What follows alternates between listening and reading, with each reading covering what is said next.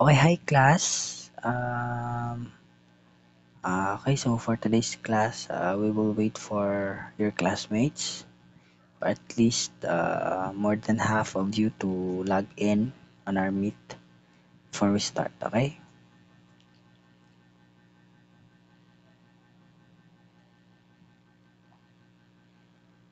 Okay, so it seems like uh, most of you have already logged in.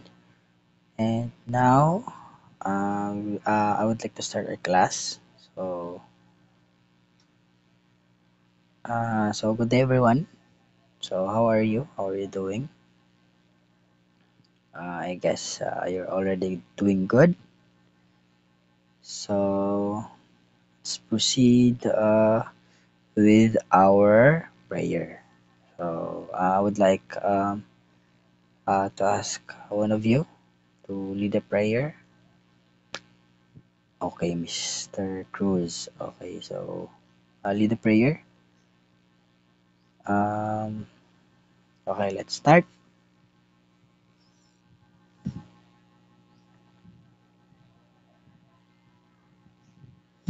Uh, okay, so thank you, Mr. Cruz, uh, for leading the prayer.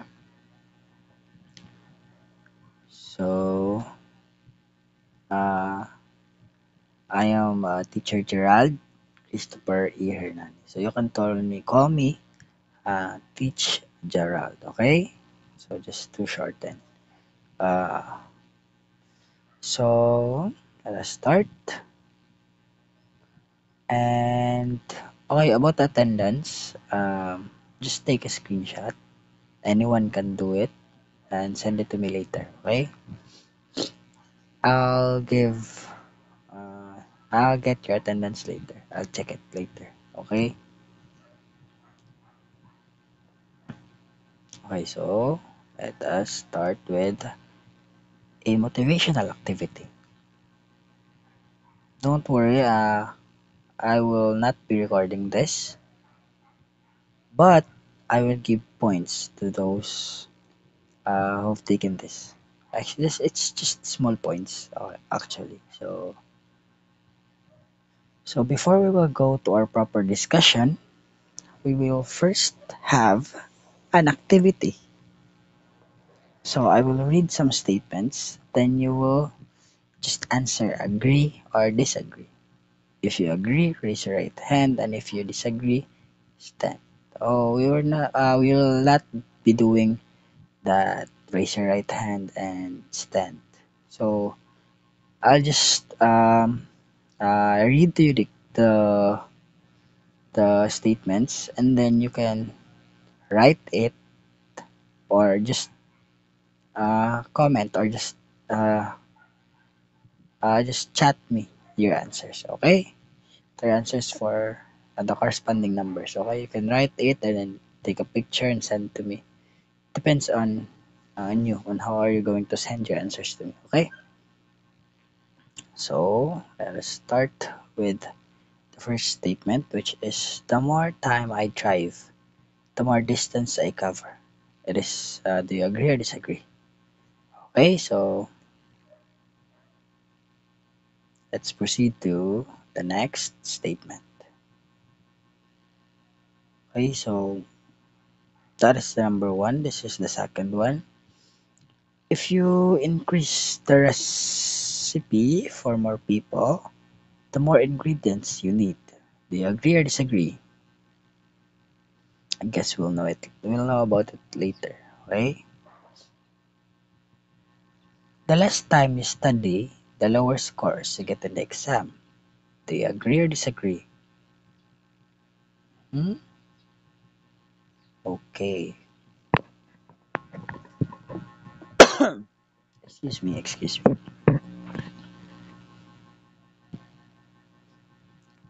So, uh, those uh, are just uh, motiv- the motivational activity and our uh, lesson or the proper lesson for today is about direct variation.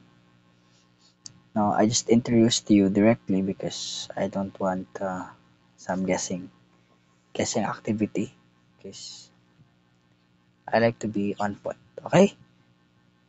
or direct to the point rather. So let's start uh, with our lesson, which is about direct variation.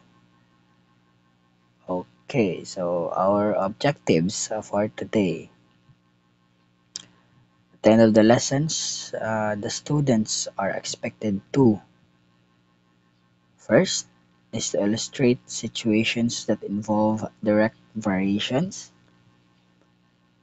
Second is to translate into variation statement a relationship involving involving um, direct variation between two quantities given by a table of values, a mathematical equation, and a graph, and vice versa. So for the last, uh, solve problems involving direct variations. Uh, so what is uh, a direct variation? Now it's the direct variation is a relationship between two variables in which one is a constant multiple of the other. In particular, when one variable changes, the other changes in proportion to the first. Okay, so direct variation is what our motivational activity is all about. Like if uh, the portion, uh, if people who are eating the food uh, grows, then the ingredients uh, needed to go, to prepare the food also increases. Okay, so it's uh, proportional. Okay. And by the way, you can take screenshots or pictures of our lesson for today, just to have some copies of your own. Okay. Okay, guys, let's proceed. Okay, so there is direct variation whenever a situation produces pairs of numbers in which their ratio is constant. So the statements are y varies directly as x, y is directly proportional to x, and y is proportional to x. May be translated mathematically as y is equal to kx where k is the constant variation. Okay, take a screenshot.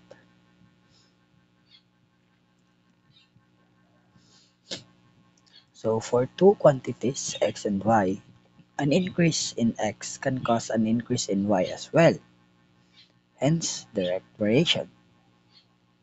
Similarly, a decrease in x causes a decrease in y, again, direct variation.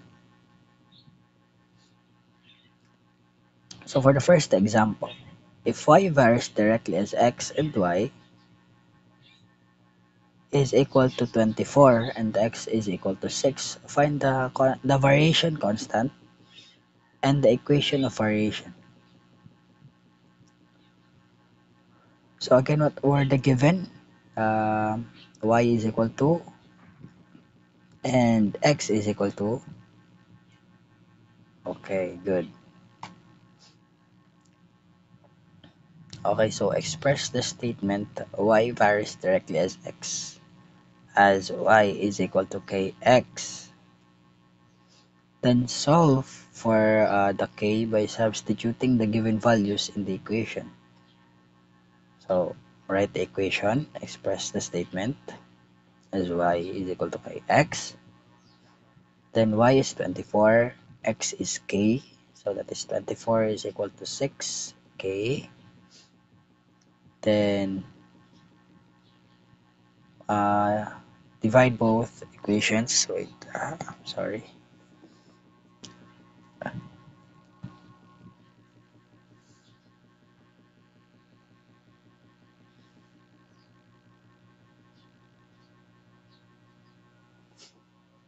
sorry okay where was I Okay, so y is equal to kx and 24 is equal to 6k. So k is equal to 24 over 6. And now 24 divided by 6 is 4. Okay, so get a screenshot.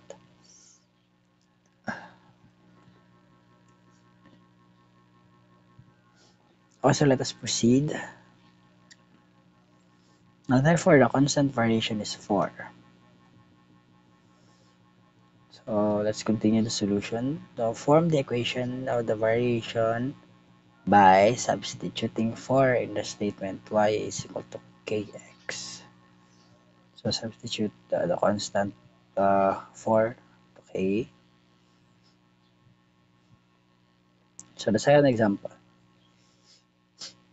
If x varies directly as y and x is equal to 35 when y is 7, what is the value of y when x is 25? Okay, so the solution for that, since x uh, varies directly as y, then the equation of variation is in the form of x is equal to ky. I'm very sorry, excuse me. So uh, let us substitute the given values of y and x to solve for the k in the situation, in the equation rather. So x is equal to ky and 35. Let's substitute x which is 35, k which is the constant, and then the y which is 7. So k is equal to 35 over 7. Now k is equal to 5 because 35 divided by 7 is 5. Hence the equation of variation is x is equal to 5y. Okay, so we will not end there. This is the continuation. Now solving for y when x is 25. 25 is equal to 5y y. Is equal to 25 over 5 which is y is equal to 5 hence y is equal to 5 wait wait guys I'll just turn off. Okay I'm very sorry for that interruption okay now let us proceed to our group activity. Now you can pair with uh, anyone in the class today or any group of two above okay? Just no group of one. Those uh, one is not a group okay? So get a one whole sheet of paper write the name of the group and its members okay so i'll give you time to decide just listen to me first each member should have a number. Remember the number given to you. I will randomly pick a number, then you will answer the questions. Each of you should be given time to answer. The time will depend on how hard the question is. So just comment your answer with your group number before the answers. The first to answer, and if his or her answer is correct uh, will be given 5 points. Next will be 3 points and the group that will get the high score will be the winner and your rank will have a corresponding points. So here the ranking. So the first will have 70, second will have 65, A third 55, fourth is 50 and the fifth will have 45 points.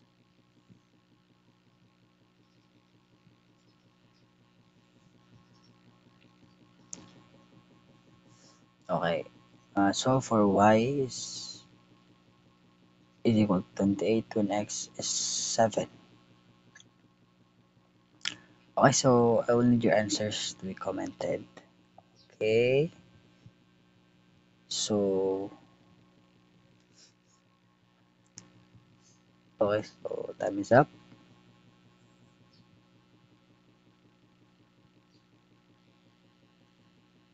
Next one y is equal to 30 when x is equal to 8.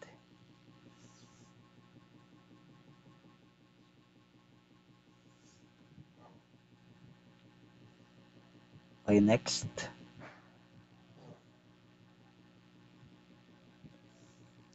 y is equal to 0.7 when x is equal to 0.4.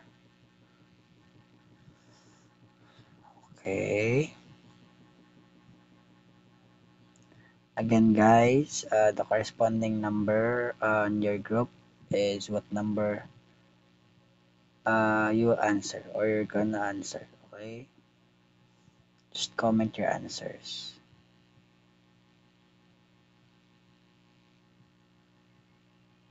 Okay. And remember to put on the corresponding group and your corresponding number and name. Okay.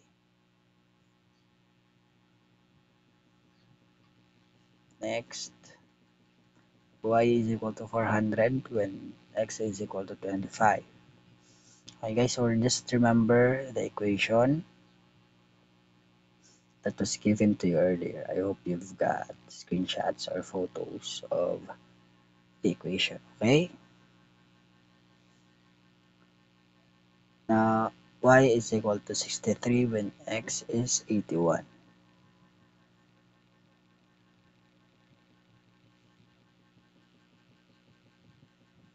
Okay guys, are you doing good? I hope you're working together as a group. So y is equal to 200 when x is equal to 300.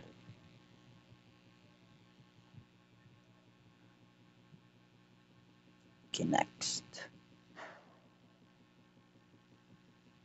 So now we will have an evaluation, which is individual, which means will not have somebody to help you with your answer. Okay, so just uh, the answer in this will be will depend on what have you understood so far for our class in our class. Okay, let's proceed. So our general instructions in one whole sheet of paper, answer the following. Okay, so get yourself a paper and a pen and answer this. Uh, the answers, I will need them to be sent to me. Uh, what time is it? It's 10.59 a.m. And I want your answers before lunchtime. That means Okay, I'll need it before 12. Okay? That's too much time. Okay? So, in each of the following, y varies directly as x. Find the values as indicated. Uh, if y is equal to 12, when x is equal to 4, find y when x is 12. Okay, so take a screenshot and write your answers in a wall sheet of paper. Take a picture, send it to me individually, okay? So I'll just uh, give you all the questions. Is that all? Okay. So take a screenshot. I'll give you some time. Take a screenshot so you'll be able to write it uh, later, okay? Okay, so I guess everybody have taken a screenshot. Now, wait. I'll give you time.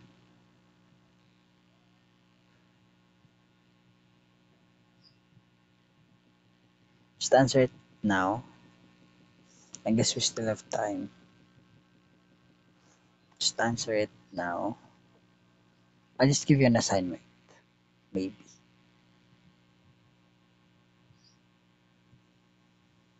Okay, I'll give you time.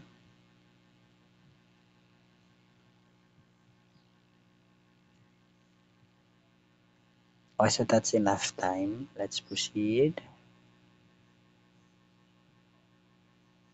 with the answers. So those are the answers for the questions. The questions that wa- as that was asked in the evaluation. Okay, so I hope you've taken a screenshot again of this. Again, I've given you time to answer, and I've said earlier to I'll let you pass it before lunch, but I guess um, I'll just uh, I will just end early our class. Just take a screenshot of this and check. Okay, check if the question and the answers uh, corresponds with each other. Okay, or is correct, and that will be your review. Okay, so I will be giving you an assignment. So I guess um uh, this will be easy for you. Okay, so here it is. Tin cans of beverages are collected for recycling purposes in many places in the Philippines. Junk shops pay 15 pesos for every kilo of tin cans bought from collectors. In the following table, C is the cost in peso and N is the number of kilos of tin. Now N, we have the number of kilos which is up to 6 and C is the peso. Okay? Okay, so have you taken a screenshot? Wait. So take a screenshot first we proceed. Thank you. So write a mathematical statement that relates uh, the two quantities n and c. The statement uh, is right here, just like this. Wait. Yeah, the statement will be like this. Statement that looks like this. Wait, where's that? Where's that?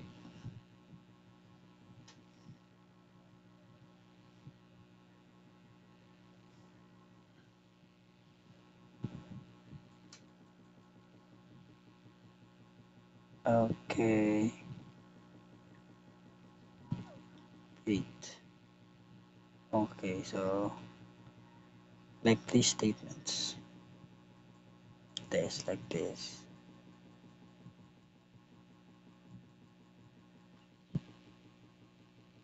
Where's that? Okay, that, like that, okay? Without the agree or disagree part, okay? Since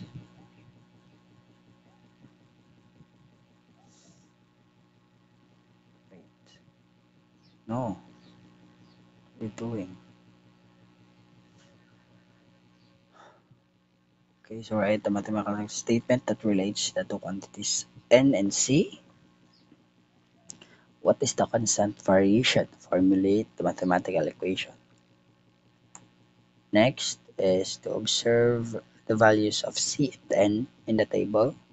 What happens to the cost c when the number of n or kilos of paper double? Triple? Okay. Just show it in your statements how the relation and then follow these steps. So the fourth is graph the relation. And the fifth or the last is the how much would 20 kilos of tin cans cost? That is cost.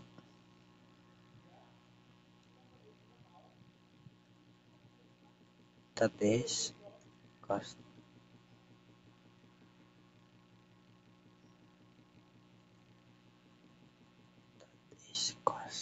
Okay. How much uh, would 20 kilos of tin cans cost if the end of the month? The cost of every kilos of tin cans will increase by 5 pesos. Instead of 15, that will be 20. Okay. So take screenshot of uh, the flow of your assignment. So I guess that would be all. Thank you, and I hope and I hope you've learned something about direct variation. I guess for you it will be very, very easy. And that would be all. Uh, take a screenshot of those who are still here and send it to me. Okay? And that will be all, guys. To all class. Uh, thank you for listening. Thank you for attending the class. And that will be all. Uh, God bless. Okay? So you can now leave our meet. Okay, so thank you, class. Till next time. Okay? Bye.